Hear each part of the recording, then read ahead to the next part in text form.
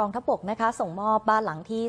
259 ให้กับผู้ยากไร้ในพื้นที่จังหวัดนครราชสีมา ซึ่งเป็นการดำเนินการตามโครงการ จิตอาสาพระราชทานเราทำความดีเพื่อชาติศาสตร์กษัตริย์ นอกจากนี้ยังตั้งเป้าหมายค่ะ ว่าจะมีการดำเนินการก่อสร้างบ้านให้กับผู้ยากไร้และด้อยโอกาสอีกมากกว่า 100 หลังคาเรือน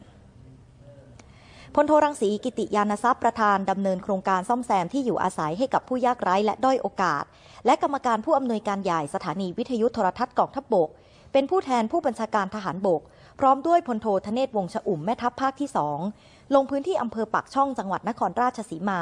ร่วมกันทำพิธีส่งมอบบ้านให้กับนายประเสริฐมณีวงศ์ผู้ยากไร้ตามโครงการจิตอาสาพระราชทาน เราทำความดีเพื่อชาติศาสตร์กษัตริย์ ตามพระบรมราโชบายของพระบาทสมเด็จพระเจ้าอยู่หัว ในการบำเพ็ญสาธารณประโยชน์เพื่อบรรเทาความเดือดร้อนแก่ประชาชน ในด้านการซ่อมแซมที่อยู่อาศัยให้กับผู้ยากไร้และผู้ด้อยโอกาส โดยพลโทรังสีเป็นประธาน แสดงความเคารพ เบื้องหน้าพระบรมฉายาลักษณ์พระบาทสมเด็จพระเจ้าอยู่หัว และสมเด็จพระนางเจ้าพระบรมราชินี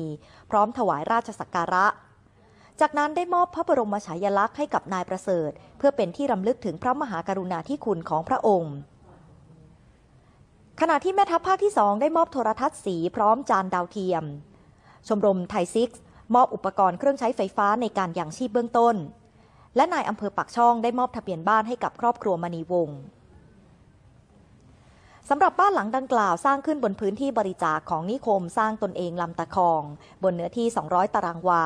โดยได้รับการสนับสนุนกำลังพลจากกองพันทหารช่างที่ 202 กรมการทหารช่างที่ 2 เข้าดำเนินการก่อสร้าง ใช้เวลาการก่อสร้าง 12 วันจึงแล้วเสร็จ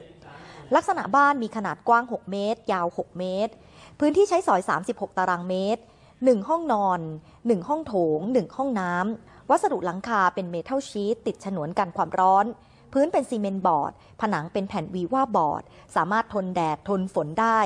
และยังติดตั้งถังบรรจุน้ำขนาด 1,500 ลิตรจำนวน 2 ถัง เพื่อกักเก็บน้ำอุปโภคบริโภคบ้านหลังนี้ถือเป็นบ้านหลังที่ 259 ค่ะ ตามโครงการซ่อมแซมที่อยู่อาศัยให้กับผู้ยากไร้และผู้ด้อยโอกาสของกองทัพบบก เป็นเจตนารมณ์ของท่านทูตยันบกอยู่แล้วนะครับ ในการที่กองทัพบบกมาดูแลประชาชนนะฮะตามพระบรมราโชบายของพระบาทสมเด็จพระวชิรเกล้าเจ้าอยู่หัว ซึ่งโครงการนี้เราก็ได้รับความร่วมมือจากหน่วยทหารทั่วประเทศนะครับ อย่างวันนี้ที่เราเห็นนะฮะท่านแม่ทัพภาคที่สองท่านก็มาด้วยตัวเอง แล้วท่านก็กำกับดูแลในการสร้างบ้าน โดยให้ผู้การมณฑลทหารเอ่อมณฑลทหารบกที่ 21 เนี่ยทำให้เสร็จภายใน 12 วันนะครับ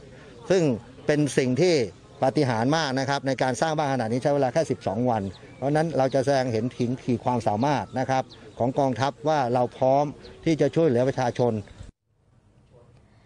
ด้านนายประเสริฐมณีวงศ์รู้สึกซาบซึ้งในพระมหากรุณาธิคุณของพระบาทสมเด็จพระเจ้าอยู่หัว และสมเด็จพระนางเจ้าพระบรมราชินีเป็นล้นพ้น พร้อมกับจะพร้อมกับจะตั้งใจทำความดีต่อไป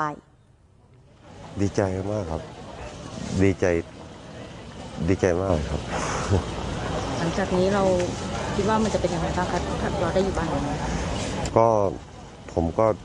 จะเริ่มทำสิ่งที่ว่าตั้งใจไว้จะเลี้ยงวัว แล้วก็จะทำข้อคือทำทุกอย่างที่ว่าเงินให้ทุกบาททุกสตางค์มาให้มีประโยชน์มีคุณค่ามากที่สุด ก็ขอขอบคุณที่ท่านเมตตามองเห็นความลำบากของประชาชนคนหนึ่งครับที่ว่า ท่านทรงปลูกบ้านให้ช่วยให้สภาพฐานะดูดีขึ้นนะครับ โครงการซ่อมแซมที่อยู่อาศัยให้กับผู้ยากไร้และด้อยโอกาสที่กองทัพบกได้ดำเนินการช่วยเหลืออยู่นั้น ปีนี้นะคะมีการตั้งเป้าดำเนินการ เพิ่มมากอีกกว่า 100 หลังคาเรือน ซึ่งขณะนี้ได้ให้ความช่วยเหลือในการสร้างบ้านให้กับผู้ยากไร้ในจังหวัดสุโขทัย 8 หลัง กาญจนบุรี 2 หลัง และชุมชนคลองเตย 40 หลังค่ะ